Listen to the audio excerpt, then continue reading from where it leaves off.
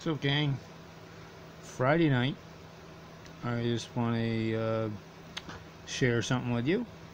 I bought four of these, went to Dunkin' Donuts to get some coffee and something sugary for us, like a donut or two.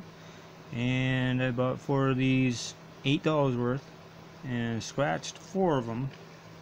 Well, half scratched one. The other three were losers.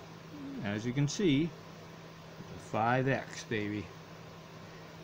So, I'm going to reveal the winner with yous. Alright, so here we go. A little Friday night special here. What do we got? Something cool on a $2 card. Little zeros. How about five bucks? Not bad. Not bad. Glad to share it with you guys. Hope you're having a nice Friday night. I'm still full from all that fettuccine.